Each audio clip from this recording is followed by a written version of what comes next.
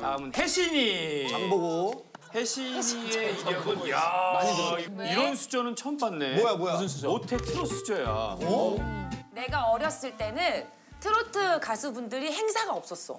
그때는 카바레, 밤무대 이런 데서 활동비를 버셨기 때문에 아빠가 그 카바레 바- 밤무대 다니시는 가수분들 음반 쪽 앨범을 하셨고 엄마는 그분들을 또 노래를 가르치셨고 우리 친언니는 트로트 작곡을 하시고 사실은 유진이도 태교로 트로트를 했지만 나도 트로트를 태교로 했어. 트로 집안이구나. 집안 자체 그러네. 멜로디 집안이네. 멜로디 집안. 진짜 다 멜로디잖아. 그러니까 사실은 내가 원래는 치대를 가려고 그랬었어. 치대? 치과 의사를 하고 싶었었는데 우연찮게 전국 노래자랑 현수막을 본 거야.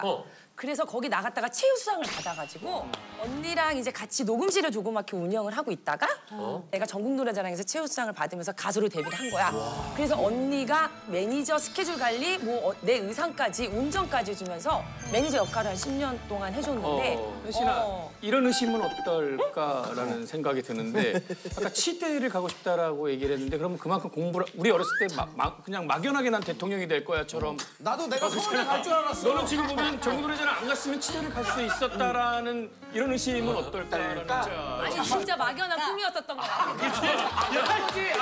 아, 치대 전국까지 일부 치대 간건 아니고 공부를 잘해서 간 게 아니고 정말 막연한 꿈을 꿨어. 치 대 아와 전국 노래자랑과 양쪽을 두고 정말 막연한 꿈이었어. 마치 그렇게 들리잖아.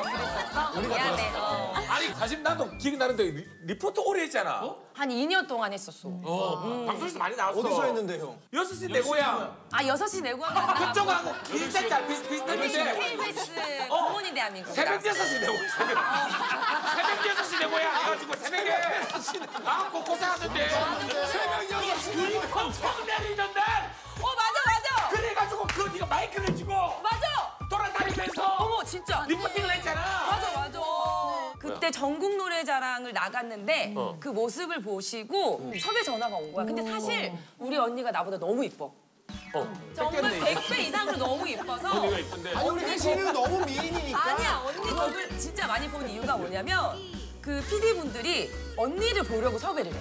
그럼 나를 내가 저 그럼 우리 어. 이런 생각은 안 해봤을까? 우리 방송반도 혜신이 언니를 보고 싶어서 널 여기 섭외한 건 아닐까? 아, 뭐 그럴 수도 있지 뭐. 어. 그래서 이제 언니 데뷔하고 어, 언니 덕분에 이제 리포터를 하게. 언니 덕분에 늘 리포터 하면 진짜 전국 다 돌아다니잖아. 사계절 다 사계절. 어디까지 가봤어? 사계절도 가봤고 아, 사계절도 나 사계절이 다 어디예요? 지나봤고 잠깐 치대를 갈 만한 어려운 어 휘력이 아닌데요. 사계절도 가봤고 그래서 치대를 갈수 있어요.